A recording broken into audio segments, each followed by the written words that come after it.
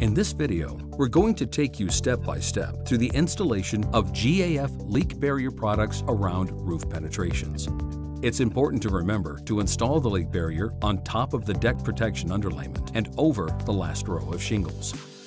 First, cut an approximately 20-inch square piece of leak barrier and mark the center.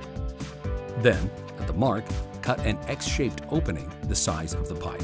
Remove half of the film and install over the pipe.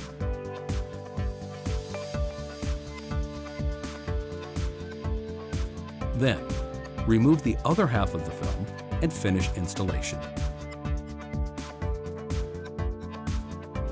Continue to install GAF leak barrier at all roof penetrations as required by code.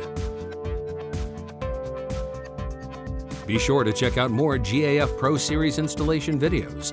Good luck with your roofing project.